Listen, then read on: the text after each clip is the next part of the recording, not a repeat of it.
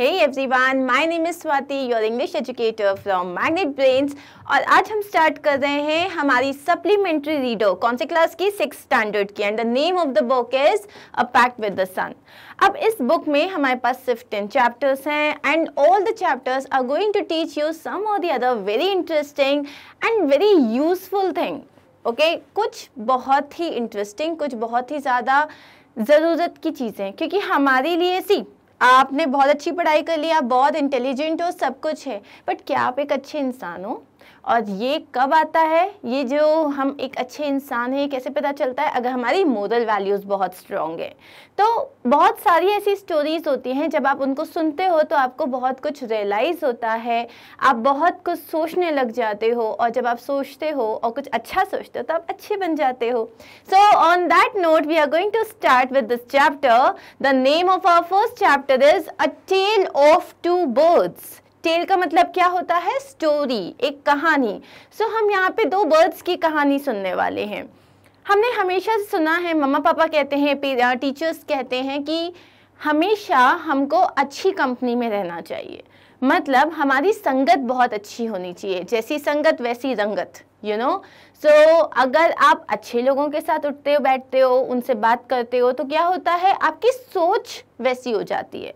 अगर ऐसे में ही आप मे बी उतने अच्छे लोगों के साथ नहीं नेगेटिव लोगों के साथ उठोगे बैठोगे या somebody who has a very cunning mind may be उतना अच्छा उनका जो है बिहेवियर नहीं है तो क्या होगा वो चीज़ आपके ऊपर भी रिफ्लेक्ट करेगी।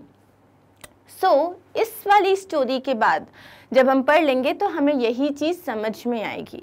So let's start with our first chapter a tale of two birds and before we read we have something A mother bird and her two young ones lived in a forest. The mother was killed in a storm and the young birds were separated from each other.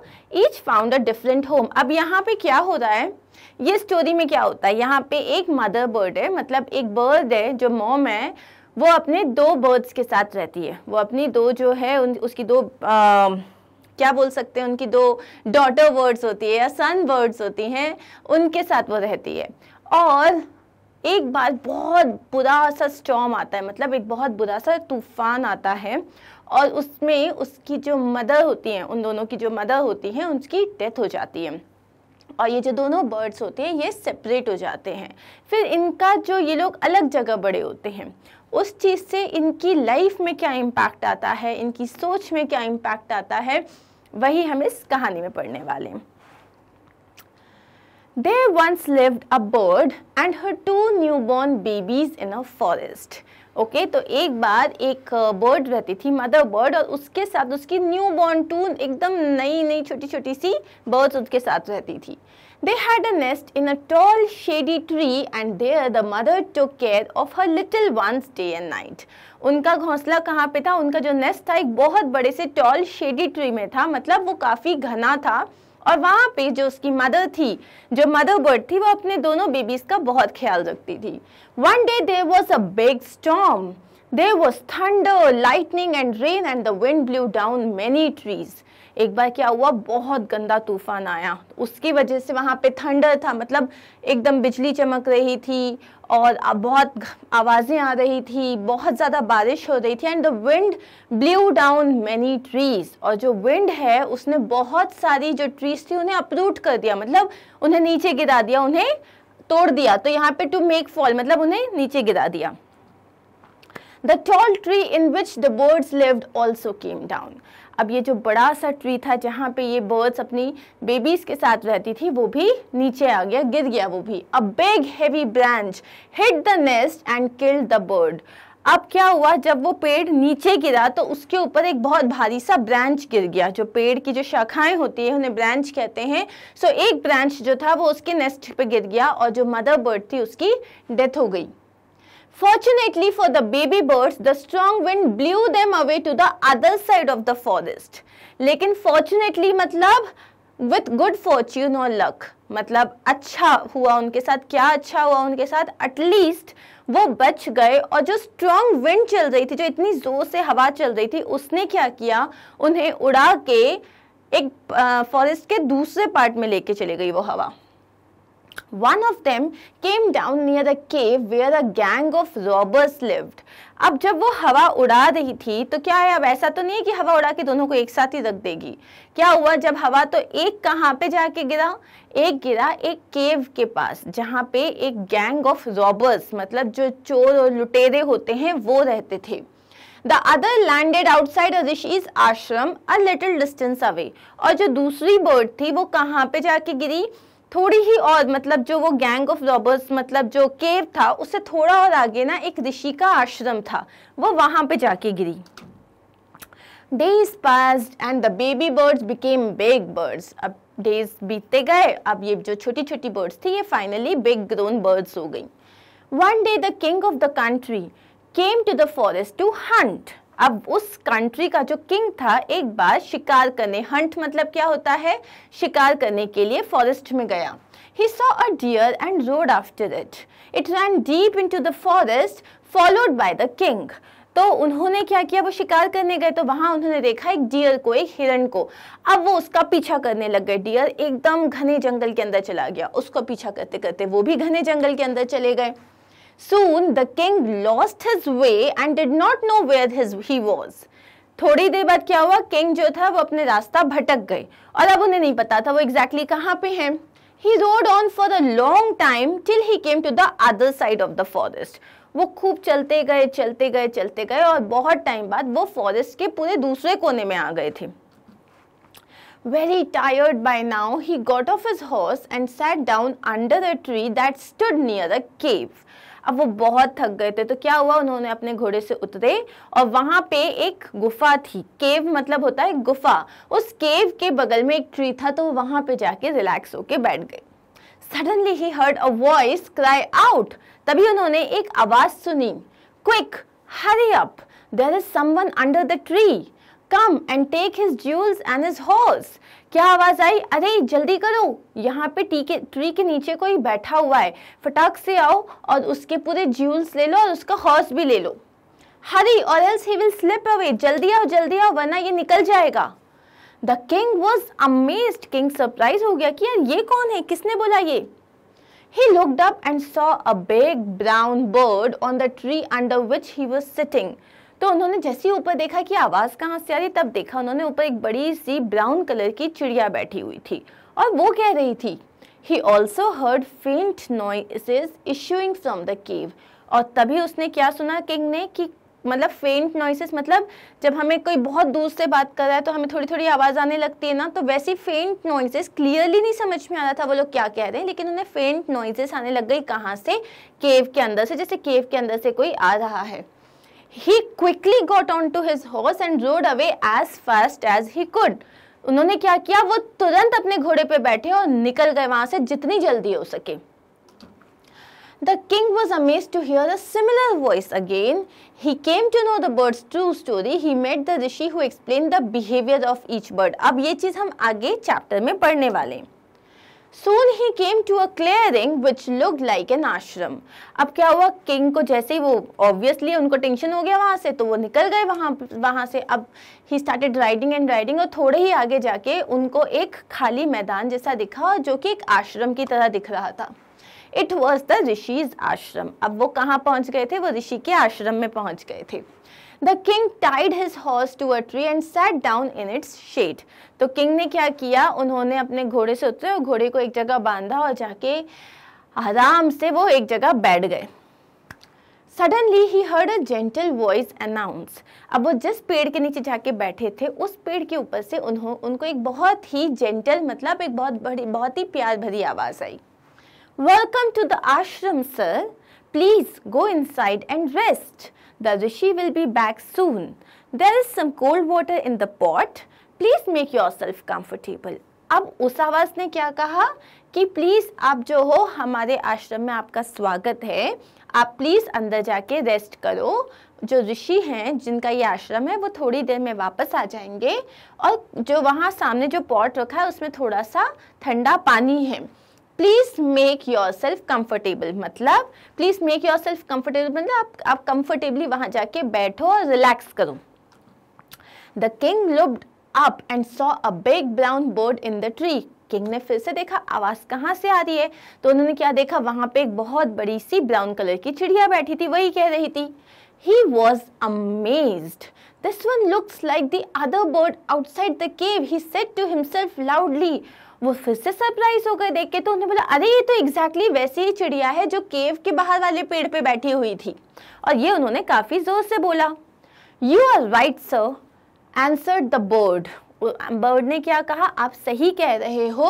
He is my brother but has made friends with robbers वो मेरा भाई है, लेकिन उसने क्या किया है? उसने रॉबर्स के साथ जो है दोस्ती कर ली है। रॉबर्स का मतलब जो लुटेरे होते हैं। He now talks as they do और अब वो कैसी बात करता है? जैसे वो बात करते हैं, वैसे ही वो भी बात करता है। He doesn't talk to me any more और वो अब मुझसे बात नहीं करता बिल्कुल भी। Just then the rishi entered the ashram और तभी क्या हुआ? जो ऋषि जिनका आश्रम था, वो आए वहाँ पे।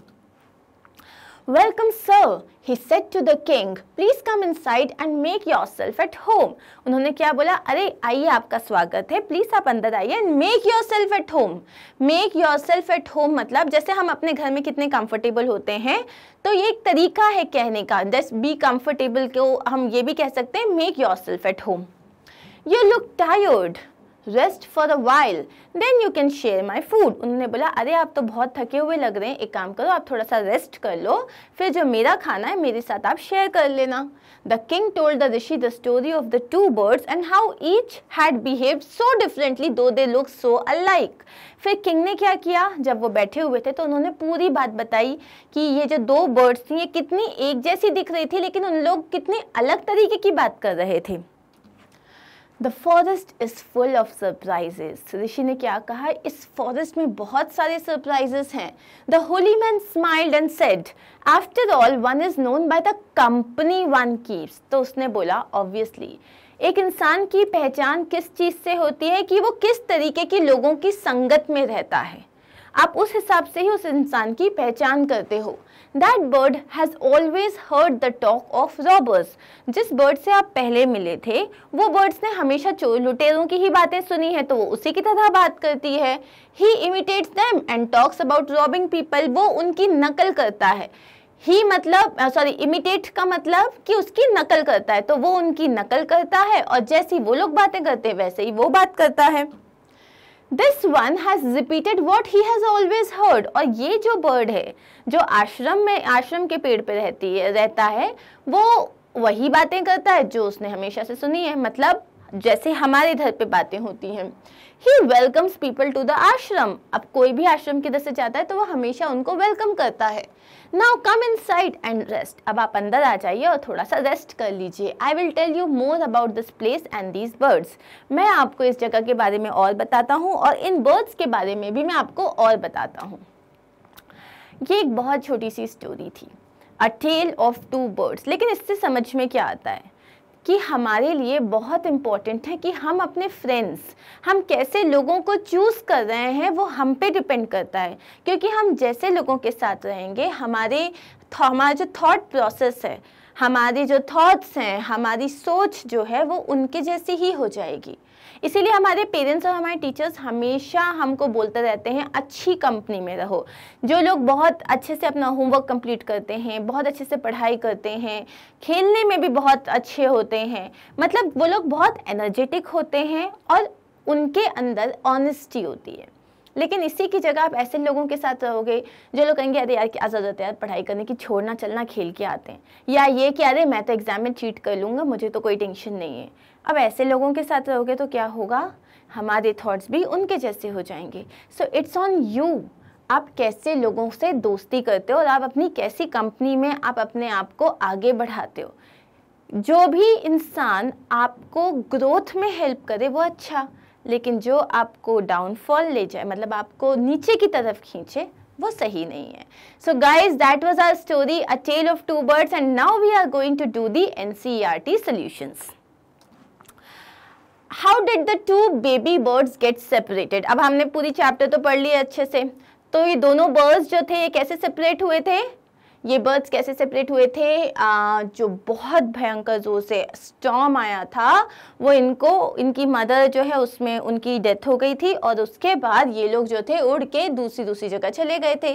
लेकिन लिखेंगे हम इसको बहुत प्रॉपर तरीके से जिसमें हम बताएँगे दैट पहले वो एक अपनी मदर बर्ड के साथ रहते थे फिर क्या हुआ फिर क्या हुआ इस तरीके से हम इस आंसर को लिखने वाले हैं। The two baby birds lived in a tall tree with their mother ये हम क्यों एक्सप्लेन कर रहे हैं? क्योंकि हमें वन लाइन आंसर्स नहीं लिखने। We have to make sure कि हमारा जो आंसर जितने भी मार्क्स का आ रहा है, उस मार्क्स के हिसाब से हम आंसर्स लिखें।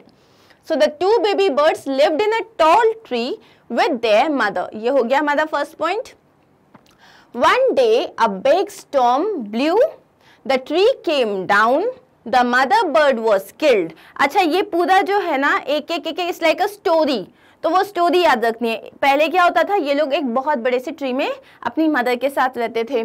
फिर क्या हुआ? एक बहुत बड़ा स्टॉम आया। उसके बाद जो ट्री था वो नीचे आ गया।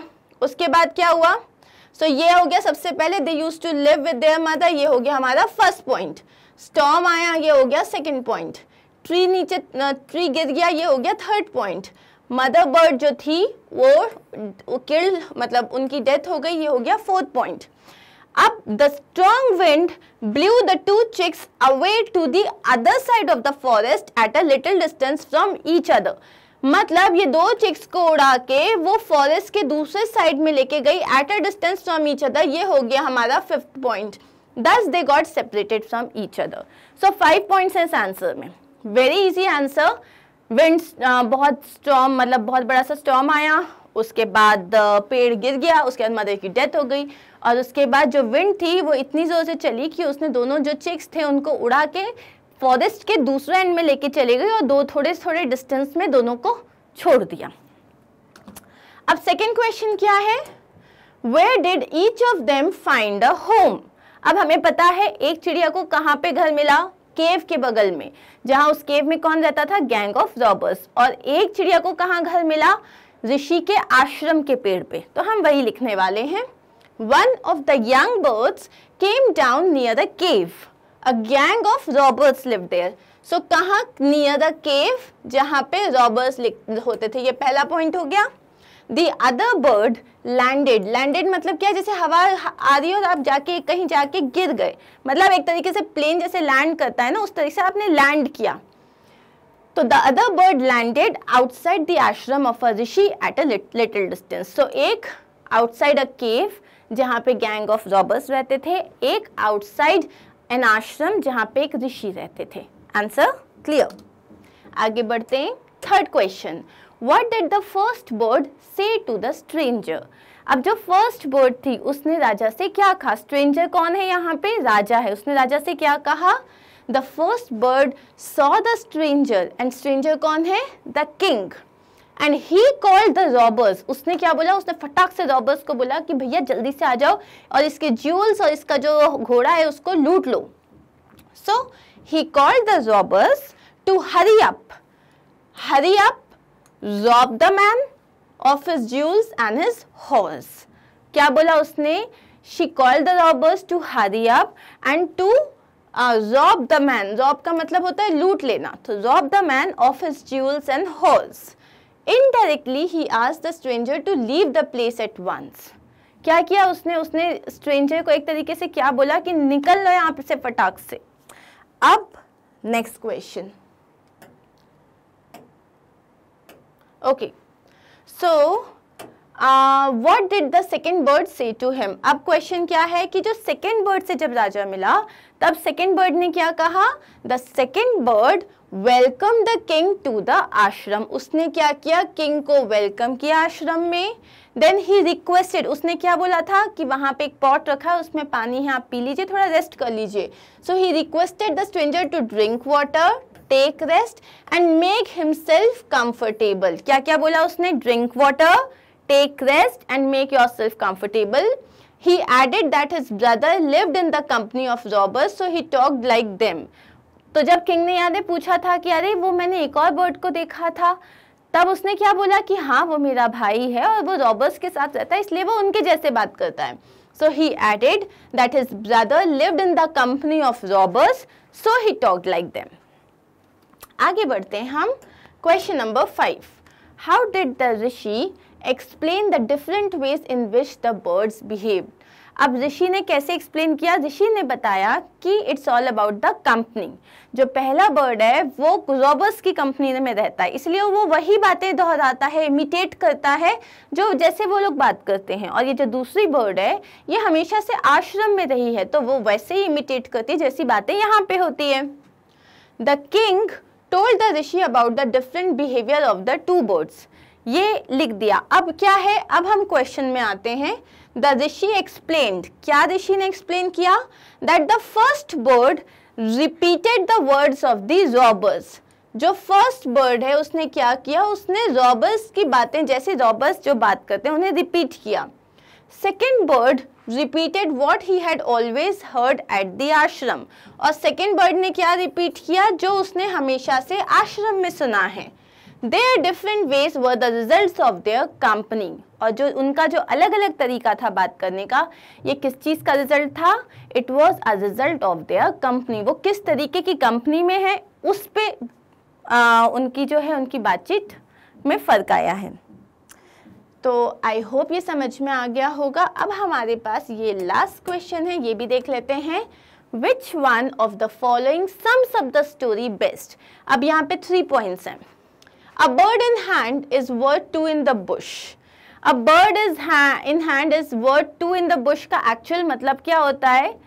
कि आपके पास जो है, जो अपॉर्चुनिटीज़ हैं a bird in hand is worth मतलब कि आपके पास इस वक्त हाथ में जो अपॉर्चुनिटी है, वो ज़्यादा इंपॉर्टेंट है। ठीक है, कि नहीं, मैं ना वो वाली ये भी अपॉर्चुनिटी ले लूँगा, ये भी अपॉर्चुनिटी ले लूँगा। लेकिन सबसे ज़्यादा इंपॉर्टेंट क्या है, जो है उस पर यू हैव टू ट्रस्ट हम इस बेसिस पे नहीं चल सकते कि हम क्या क्या क्या क्या पा सकते हैं। जो हमारे पास है, हमें उस पर ट्रस्ट करना चाहिए। One is known by the company one keeps कि एक आदमी की पहचान किससे होती है? वो किस संगत में रहता है। A friend in need is a friend indeed मतलब जो ज़रूरत में आपके काम आए वही एक सच्चा दोस्त होता है। सो so, जो स्टोरी है हमारी a tale of two birds इसको कौन सी पर्टिकुलर जो इसमें स्टेटमेंट है वो क्लियरली डिफाइन करता है? वो है one is known by the company he keeps I hope you got it. I hope all these questions were pretty clear to you guys. We are done with the first chapter and in our next video we are going to start with the second chapter. So stay tuned, stay connected. कोई भी doubts हो तो please मुझसे पूछ लीजिएगा. I'll try my level best to sort out all your questions. Thank you. जल्दी मिलते हैं. Bye bye.